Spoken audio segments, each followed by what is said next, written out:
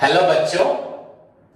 Good afternoon to all of you so my dear students आज का class start करें.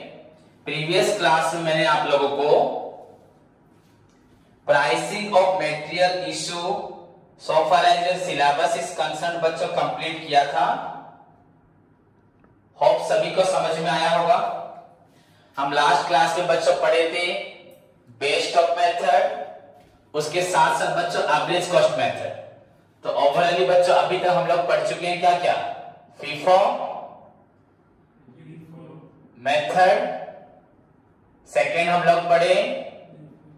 LIFO method third पढ़े। Best of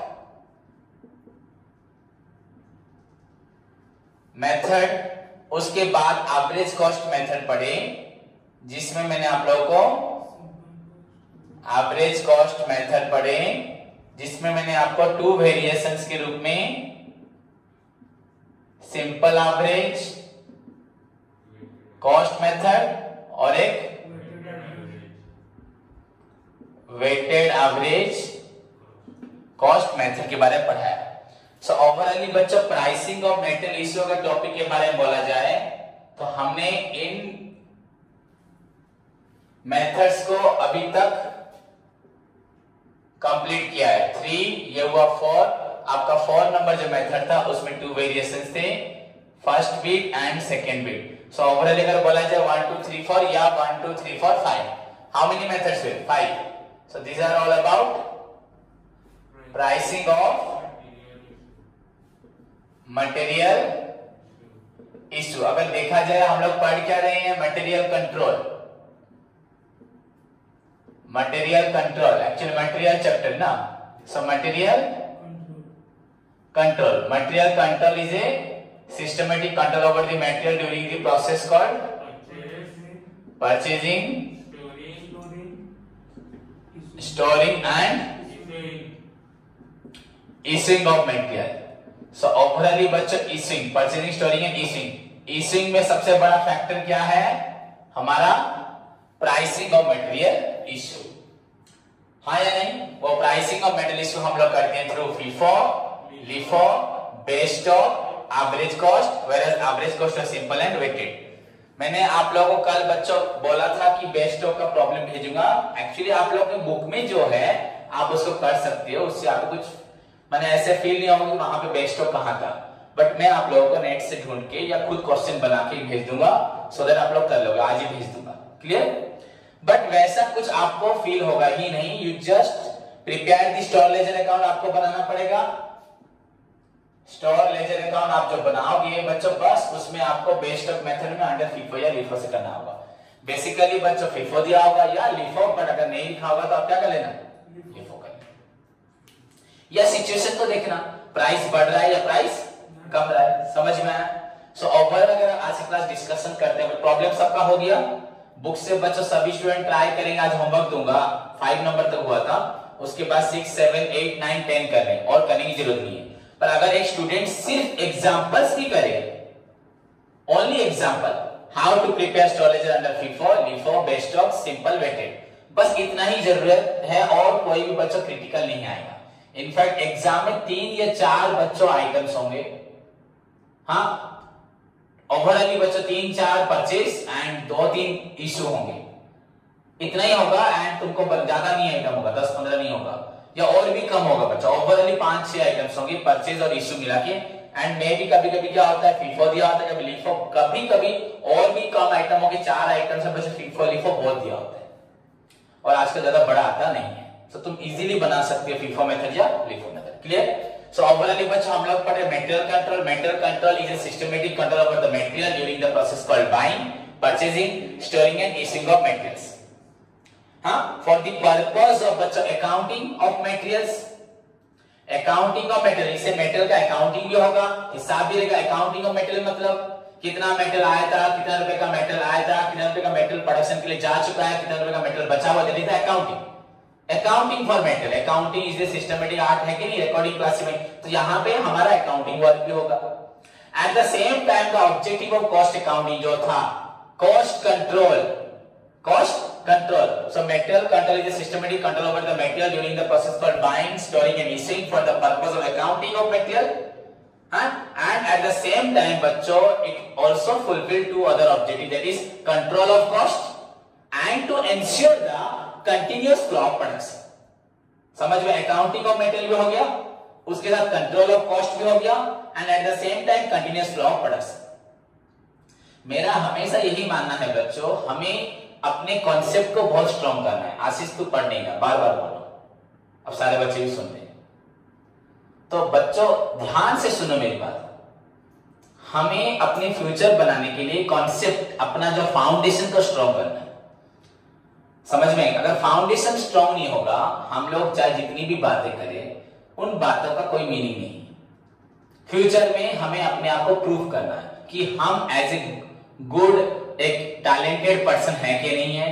हम किसी प्लेटफॉर्म में खड़े होकर अपने आप को, अपनी फैमिली को, अपनी सोसाइटी में नाम कमा सकते हैं कि नहीं कमा सकते मेरी बात समझ रहे हो? तो उसके लिए तुम्हें मेहनत करना है। मेहनत करोगे टैलेंट आएगा जॉब ज़रूर मिलेगी। और जॉब उसी इंसान को मिलेगी ना जो मेहनत करेगा। और ये मत सोचो कि सर 90 परसेंट मार्क है या 95 परसेंट मार्क है।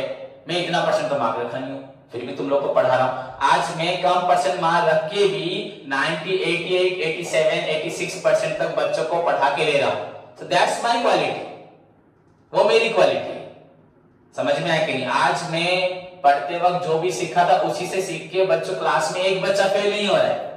तो दैट्स माय क्वालिटी 11 इयर्स हुआ लास्ट में एक बच्चा को फेल नहीं करने दे हाँ कोई ऐसा कोई स्टूडेंट होगा जो एक महीना पढ़ के भाग गया होगा मेरी डांट से, मार से तो वो शायद फेल होगा। पर उसको यहाँ काउंट नहीं किया मैंने कभी। ऐसा होगा ही नहीं। समझ में तो ओवरऑली जो मेरे पास लगभग फाइव मंथ्स भी पड़े होंगे फोर मंथ्स वो कभी फेल नहीं होंगे। क्लियर तो हमें बेस को पूरा समझना है। तो देखो, मैं तुमको पढ़ा रहा हूँ ये, बच्चे क्या ध्यान देंगे साथ? यूजुअली स्टूडेंट्स सर फीफो कैसे होता है लीफो कैसे? बस इंटरेस्टिंग बहुत सिंपल प्रॉब्लम है। पर कोई प्रॉब्लम के प्रॉब्लम छोड़ के थ्योरी पे कॉन्सेंट्रेट करना नहीं है जो कि सबसे ज़्यादा ज़रूरी है। सो so, यहाँ पे अगर देखा जाए ये चैप्टर स्टार्ट हुआ ही मेटेरियल कंट्रोल से। एंड जब अब क्वेश्चन है इशिंग ऑफ़ मेटेरियल हाँ इशिंग ऑफ़ मेटेरियल्स बच्चों एट प्रॉपर प्राइसिंग में to reduce the cost according to the market situation हो या according to the instruction of the company हो। अगर मार्केट सिचुएशन को देखना है कैसे मार्केट में प्राइस बढ़ रहा है या घट रहा है तो हमें फीफो यूज़ करना है। या कंपनी का इंस्ट्रक्शन जो है। एंड कंटिन्यूस क्रॉप प्रोडक्शन के लिए, हमें प्रोडक्शन कंटिन्यूस नहीं करना है। उसके लिए हमें क्या करना मेटल इश्यू प्रॉपर वे में करना है। So the last stage of बच्चों metal control is the issuing of metals to the production centre from the store house clear इसके बारे में बहुत कुछ और बताऊँगा। सो while issuing the material? Usually materials are kept in the store house under the care of metals कहाँ रहता है? स्टोर हाउस में रहता है। ओके ये स्टोर्स में रहता है? गोडाउन में रहता है हाँ? अंडर द केयर ऑफ़ बच्चा स्टोर कीपर स्टोर कीपर की हिफाजत में मेटेरियल रहता है। एंड दीज मेटेरियल्स बच्चों can not be issued by the store keeper from the store house से। बच्चों, कभी भी वो प्रोडक्शन डिपार्टमेंट फैक्ट्री को आपका मेटेरियल इशू करता नहीं है, नहीं करेगा।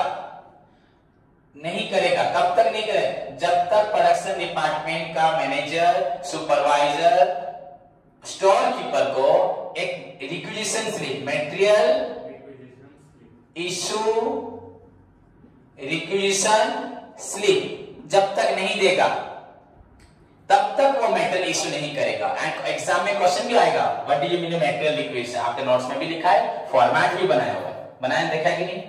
So, बच्चों मेटेरियल रिक्विजिशन बच्चा is a slip is an authority बच्चे एक टाइप का क्या है? ऑथोरिटी है.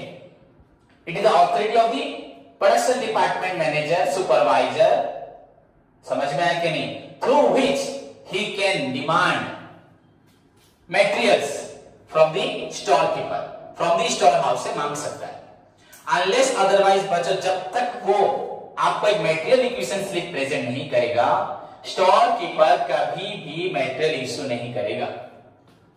So that's the point but now अभी तो मेटेरियल बस इश्यू करने के लिए मेटेरियल लिक्विडेशन चाहिए, ये तो एक बात है। बट उसके साथ बच्चा सिर्फ़ स्लीप से नहीं होगा, आपको और एक चीज़ पे ध्यान देना है। Now the store keeper now the store keeper is required बच्चों to follow certain specific method certain specific method कि मैं मेटेरियल कैसे इश्यू करूँगा? कहाँ से इश्यू करूँगा? मेरे पास बहुत सारे मेटेरियल्स हैं। यहाँ पे कोई टू रुपए वाला टू रुपीज़ ट्वेंटी वाला टू रुपीज़ टेन वाला डिफरेंट डिफरेंट मेटेरियल्स है। सब मैं कैसे मेटेरियल इश्यू करूँगा? ऐसा क्वेश्चन कभी नहीं आता। If the object is not the cost control material control if our objective is not to control the cost, then this type of question that कि मैं यहाँ से इश्यू करूँ, यहाँ से इश्यू करूँ, यहाँ से इश्यू करूँ, कहीं से भी इश्यू करूँ तो ऐसा क्वेश्चन नहीं आता। समझ में आया कि नहीं? बट सिंस आवर टॉपिक का मेन ऑब्जेक्टिव है बच्चों material control we should consider बच्चों how to issue the materials how to store keeper must consider how to issue the materials so as to reduce the बच्चों को material cost material cost को वो कम करेगा। हुआ so that is known as बच्चों किस प्राइस में इशू करेगा that is known as pricing of metal issue so while issuing the materials by the storekeeper to the production department he must require to follow certain specific methods of pricing of metal issue as per the instructions of the company or as per the market condition if it is permit if it is advisable by if it is advised to him by the company अगर company का manager उनको advice करता है कि तुम as per the situation market condition price situation के हिसाब से इश्यू करो तो वो करेगा अदरवाइज़ कंपनी जो इंस्ट्रक्शन देगी वही करेगा। So these are known as बच्चों प्राइसिंग ऑफ़ मटेरियल इश्यू से बोलते हैं pricing of material issue methods of pricing of material issue so now what are the methods बच्चों? FIFO method that is known as first in first out first in first out okay? First in, first out that means the material which are received first are to be issued first. First come, first out. That means materials are issued on the basis of purchase. जिस तरह से खरीदोगे उसी तरह से issue करोगे। On the basis of receive जैसे receive होगा वैसे इश्यू होगा। रिसीव कौन सा पहले होगा? जो पहले परचेस होगा। That means here materials are issued from the earliest consignment इस वर्ड को बोलना मत। नहीं तो भूल जाओगे तो फ्यूचर में एंट्रांस देते वक्त या कोई प्रॉब्लम करते वक्त दिक्कत होगी। समझ में आया कि नहीं? Here the materials are issued from the earliest consignment first come first out तो एग्ज़ाम में क्वेश्चन आएँगे what FIFO stands for first in first out method what do you mean by FIFO method it stands for first in first out under this method the material which are received first are to be issued first so here materials are issued on the basis of purchase या material are issued on the basis of from the from the earliest consignment दो line लिखोगे, चलेगा two marks में. या maximum three line three marks होगा तो एक line this method is suitable in case of बताया था आपको? फॉलिंग प्राइस क्या था? जब आपका प्राइस फॉलिंग प्राइस जब आपका प्राइस बच्चों कम होता है एट दैट मोमेंट हमें फीफो मेथड करना होता है। क्लियर उसके बाद हम लोग कहाँ चले? लिफो मेथड इसका प्रॉब्लम मैंने करवाया। सभी को मालूम है? डाउट है कुछ? Okay then LIFO stands for बच्चों last in first out just opposite of the बच्चों समझ में आया कि पूरा ऑपोजिट तो नहीं बोल सकते। लास्ट इन लास्ट आउट तो नहीं बोल रहे। अगर लास्ट इन लास्ट आउट बोलेंगे तो वो तो फीफो आ जाएगा। लास्ट इन लास्ट आउट मतलब? फीफो फीफो क्या है? First in first out second in second out third in third out last in last out तो अगर लास्ट इन लास्ट आउट बोल दूँगा तो दैट इज़ द फीफो हो जाएगा। क्या हो जाएगा? So FIFO method is considered to be the opposite of counter of reverse of बच्चों FIFO method that stands for बच्चों last in first out here the materials which are received last are to be issued first so you see बच्चों here the materials are issued from the latest consignment from the fresh consignment received जो अभी receive किया था last में जो receive किया था वहाँ से इश्यू करोगे whereas in the FIFO में earliest consignment so you can definitely write the differences three different लिख LIFO में लिख सकते एंड फाइनली बच्चे LIFO method is applicable in case of आपका राइजिंग प्राइस क्या? राइजिंग प्राइस अगर आपका प्राइस बढ़ता है तो उस समय आपका लीफो मेथड फॉलो किया जाता है। राइजिंग प्राइस तो ये फॉलोइंग प्राइस ये वो राइजिंग प्राइस खत्म। तो अगर डिस्टिंग करना है under this method the material which are receive first are to be issued first under this method the material which are receive last are to be issued first Huh? Here the materials are issued from the earliest consignment. Here the materials are issued from the latest consignment. It is suitable in case of falling price. It is suitable in case of rising prices. काम खत्म तीन point हो गए और लिखना है first transfer लिख दो नहीं यहाँ फ़र्स्ट ट्रांसफ़र लिख दो समझ में आ गई और अगर लिखना है तो the materials are issued in accordance with the purchase here the materials are issued not issued in in accordance with the purchase समझ में आया कि नहीं खत्म हो गया these are the five Okay, and basically, but the most probably which method is considered? LIFO. क्या होगा? LIFO ही होगा क्योंकि usually price high ही करता है. समझ में आके? Next method बच्चों stock method. कल बताया था stock method. So what is stock method?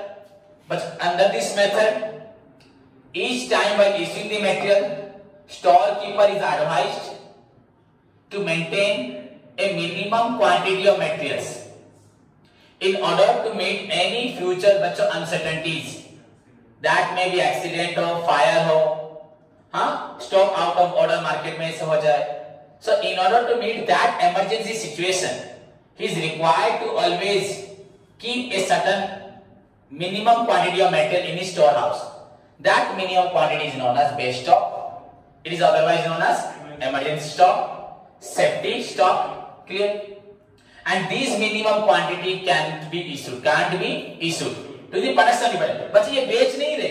मैंने कल एग्जांपल ज़रूर दिया था पेट्रोल पंप का, वहाँ तो सेल हो रहा है। पर यहाँ बेच नहीं रहे। बच्चों, हमारा मटेरियल हमारे पास ही है। जस्ट बच्चों स्टोर्स डिपार्टमेंट से मटेरियल हमारा कहाँ जा रहा है? प्रोडक्शन डिपार्टमेंट अभी प्रोडक्शन होना बाकी है अदर खर्च होने बाकी है, उसके बाद शोरूम में जाएगा, वहाँ पे सेल होगा। हाँ? ऑफिशियल वर्क काम है ऑडिट है अकाउंटेंट्स है बहुत सारे एक्टिविटीज़ है, है कि नहीं? मार्केटिंग वगैरह हम बस अपने मटेरियल को अपने पास से अपने प्रोडक्शन डिपार्टमेंट तक भेज रहे हैं। तो कोई भी बच्चा मत सोच लेना सर यहाँ खरीद रहे बेच रहे हैं खरीद रहे बेच यहाँ बेच नहीं रहा। मेटेरियल हमारे पास ही है। समझ में आया तो? सो बेस्ट ऑफ़ मेथड समझे? सो बच्चों अगर बोला जाए बच्चों सर बेस्ट ऑफ़ मेथड कैसे मेंटेन करेंगे? So there is no specific procedures of preparing the store ledger account under best of method. In fact, बच्चों it can be done with all the other methods of बच्चों pricing of metal issue. जितने भी आपके pricing और metal issue के method है आप किसी भी मेथड्स को फॉलो करके you can prepare best of method you just focus on not issuing that minimum quantity which is suggested to you उसको रखना है उसको छोड़ के आप सब इश्यू कर सकते हो आइडर फीफो में करो लिफो में करो सिंपल में करो वेटेड में करो, या एनी अदर मेथड करो, उसके बारे में डिस्कशन करके फ़ायदा नहीं। Clear so you you can prepare the stores ledger account under the best of method by considering any of the बच्चों जितने भी हमारे मेथड से प्राइसिंग और मेटल इश्यू करके कर सकते हैं। बट इन दैट मोमेंट में क्या होगा? So if someone ask you about the merits and demerits of best of method you just say कि मेरिट्स अगर हमें मालूम है it maintains a minimum quantity of materials to meet any future contingency that's a good point merits हो गया। उसको छोड़ के it's merits based on methods merits depends on the methods on which it is based या by considering the method it is prepared जिसको हम follow करके इसको बनाते हैं। बेस्ड ऑफ़ अगर फीफो को बनता है so whatever the merits और of FIFO are equal to the merits and demerits of best of ऐसे LIFO भी होगा and overall बच्चों अगर बोला जाए the most commonly used methods of preparing the best of method is the methods of preparing the best of method with LIFO best of method with LIFO यहाँ लिखोगे बच्चों स्टॉक लेजर अकाउंट हेडिंग में best of method with LIFO best of method with FIFO ऐसे नहीं best of या खाली LIFO नहीं ऊपर स्टोरेज अकाउंट ब्रैकेट में based of method with FIFO based on method with LIFO. So the merits or demerits of the FIFO or LIFO is equal to the merits or demerits of based या किसी और method का होगा. And most commonly used methods of preparing the best of method is the preparation of best of method with LIFO method. In fact, the objective of best of method can be achieved only when it is prepared with LIFO. मैंने कहीं देखा था ये तो book में लिखा है जो लाइन बोल रहा हूँ बट मैंने कहीं बच्चों देखा तो नहीं, पर एक ऑब्ज़र्व कर रहा हूँ, why the LIFO method is considered to be the best method that will achieve the objective of best method? तो मुझे ये लगता है, मुझे ये पर्सनली फील होता है since best stock means minimum quantity को मेंटेन करना है एंड यू नो बच्चों मिनिमम क्वांटिटी क्यों मेंटेन करेंगे उसे क्यों इमरजेंसी के लिए? ऐसा सिचुएशन कब आएगा? क्यों हमारे पास मेटेरियल जब शॉर्टेज होगा? शॉर्टेज जब होगा डेफिनेटली उसमें मार्केट में प्राइस क्या हो रहा होगा ज़्यादा हो रहा होगा। So the best method of doing the, preparing the storage account under best of method is the best of with LIFO method. तो प्राइस जब राइज करेगा, तभी क्या होगा? ऐसा सिचुएशन आएगा जहाँ पे तुमको बेस्ट स्टॉक पर ध्यान देना पड़ेगा। अदरवाइज़ हमेशा इशू करते रहो। 200 300 या 2000 मटेरियल को तुमको इशू नहीं करना। वो नीचे पड़ा रहे, या ऊपर पड़ा रहे, कोई प्रॉब्लम है। क्या हमारे पास मटेरियल इश्यू करते वक्त इतना सपोज़ मेरे पॉकेट में पैसा है।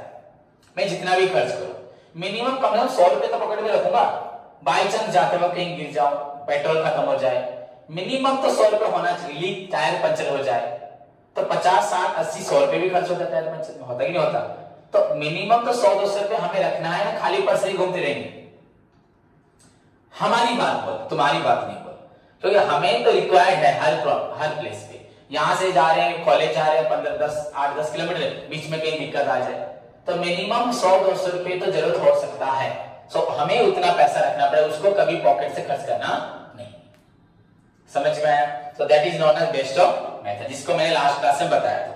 कोई प्रॉब्लम नहीं है। अगर आपकी बुक देखोगे तो you can easily prepare the best of method कुछ देखना भी नहीं है। वहाँ पे कहीं शॉर्टेज होगा ही नहीं। सॉर्टेज हो, देखिए वो वाला प्रॉब्लम सॉर्टेज हो रहा है। नहीं हो रहा सिंपली यू कैन इशू तो वैसा प्रॉब्लम है ही नहीं। क्लियर प्लस थ्री बुक में भी नहीं।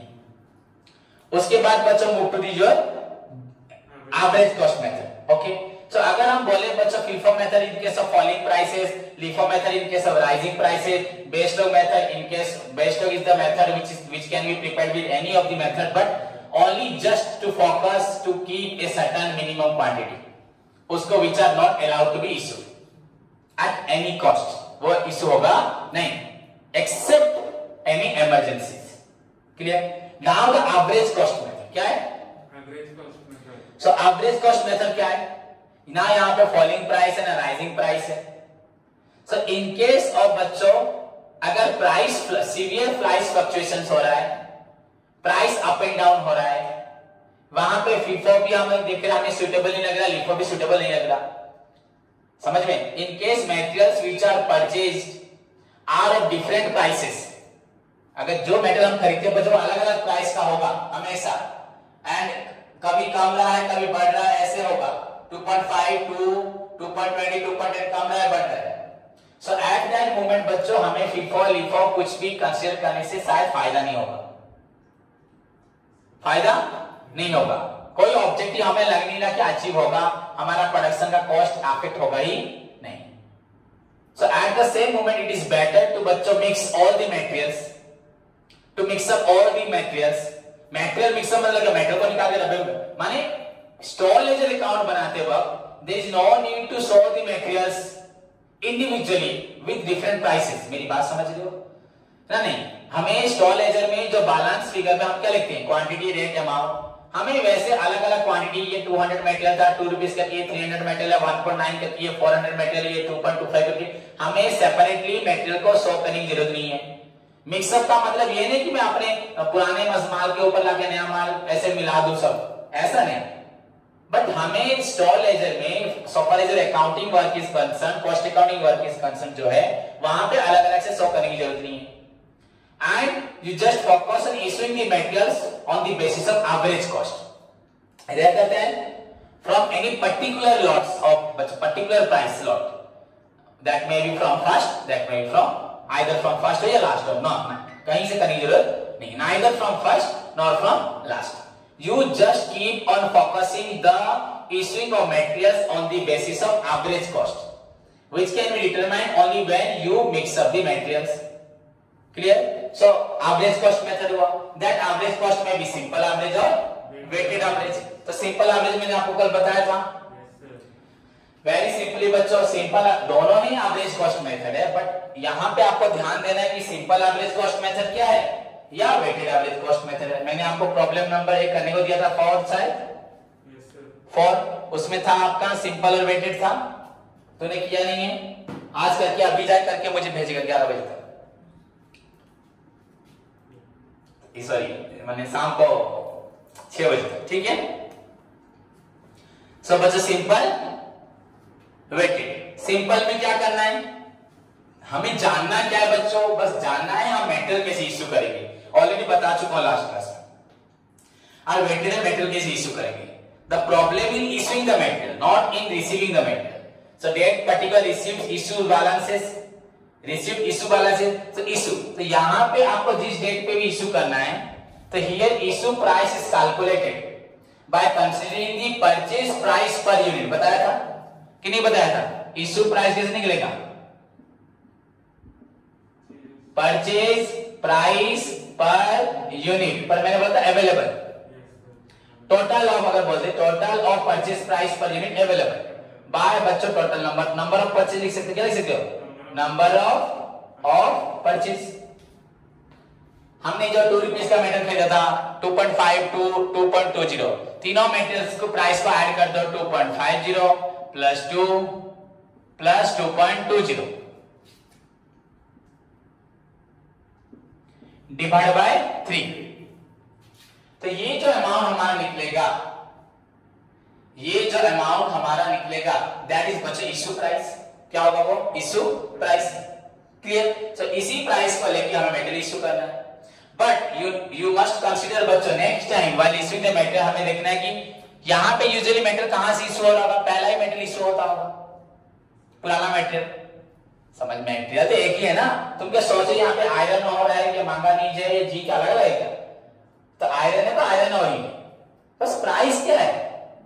अलग अलग है। समझ में आएँगे अलग अलग मेटेरियल अगर होगा तो उसके लिए अलग अलग काम करो एक मेटेरियल के साथ दूसरे मेटेरियल कंपेयर करो क्या? इसका इसिंग उसका इसिंग के सेम होगा क्या? उसके लिए अलग उसके लिए अलग स्टोरेज होगा समझे? पर नेक्स्ट टाइम अगर इश्यू करेंगे अगर हमारा जो पहला मेटल सपोज़ ये 500 था ये अगर इश्यू हो चुका है तो नेक्स्ट टाइम इस प्राइस को कंसीडर नहीं करेंगे इससे इसको करेंगे। बताया था? हुआ? एंड अगर ये भी खत्म हो गया थर्ड वाला करेंगे। So in this way you prepare the stores as account कल बता चुका हूँ प्रॉब्लम करवा चुका हूँ। बस आज ओवरऑली सारे मेथड्स को डिस्कस कर रहा हूँ क्लियर सो ये issue price price is calculated by dividing the total of purchase price per unit available divided by the by the number of purchase available जो उसके बाद बच्चों वेटिंग ये तो वेरी सिंपल है। ये सिंपल एवरेज से भी सिंपल है। नाम है वेटिंग ज़रूर पर सिंपल एवरेज से भी सिंपल है। या नहीं। So what do you mean weighted average method ऐसा तो नहीं है। कोई मीनिंग तो नहीं है। Weighted average method of pricing of metal issue is that method in which the issue price is calculated by dividing the amount by by dividing the amount by quantity quantity हो गया। Quantity में भी units हो ton हो pieces हो। हाँ जो भी हो। केजी में हो आपका लीटर में हो जिसमें भी हो कोई प्रॉब्लम नहीं है। सो अंडर दिस मेथड बच्चे issue price is calculated issue price is calculated by dividing the by the quantity. Just आपका जिस दिन आप इश्यू करोगे सपोज़ हम पाँच तारीख को इश्यू कर रहे हैं तो चार तारीख को जो आपका स्टोर में बैलेंस होगा। या पाँच तारीख को दो बार इश्यू करे तो पाँच तारीख का इस इश्यू से प्रीवियस जो इश्यू होगा, वहाँ का अमाउंट क्या है? वहाँ का क्वांटिटी क्या है? You just divide the amount by the quantity, जो भी आंसर निकला अगर सपोज़ टू रुपीज़ निकल रहा है so that is the issue price जितना इश्यू करना है, बच्चों 500 क्वांटिटी इनटू दो रुपए करके। एंड बैलेंस से बस डिडक्ट करना है, और कुछ करना नहीं है। सो दैट इज़ द बच्चों weighted average method of pricing of material issue I think सभी बच्चों को समझ में आया। This is the overall discussion of the pricing of material issue so material control बच्चों तभी अचीव हो पाएगा जब हम सिस्टमेटिक वे में प्राइसिंग ऑफ़ मेटल इश्यू करेंगे, चाहे वो फिफो हो या लिफो हो या बेस्टो हो सिंपल हो वेटेड हो। अगर प्रॉब्लम की बात की जाए तो हमें मेथड सीखने हैं। अगर थ्योरी की बात किया जाए तो ये हमें सीखना है कि किस मेथड का मीनिंग क्या है, किस मेथड को कहाँ पे अप्लाई करना है, क्यों अप्लाई करना है। एंड ओवरऑल अगर देखा जाए, यहाँ पे बच्चों मेटल बिक नहीं रहा है, हमारे पास का मेटल हमारे पास से हमारे पास ही जा रहा है। तो हमें ये ध्यान रखना है कि हमें मेटेरियल कंट्रोल करना है। हमारे वहाँ पे वर्कर्स को ट्रेनिंग सुपरवाइज गाइडिंग इंस्ट्रक्शन तो मैनेजर दे रहे हैं। तो वो अपना काम करेंगे।